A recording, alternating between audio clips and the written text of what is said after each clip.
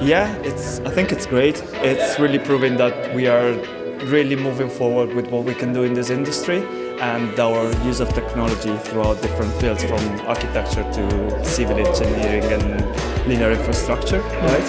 Yeah, it really goes within the line of the company to push forwards with technology. So yeah, I think it's yeah, it's great. It's good to receive this. to get both of them, right? Yeah.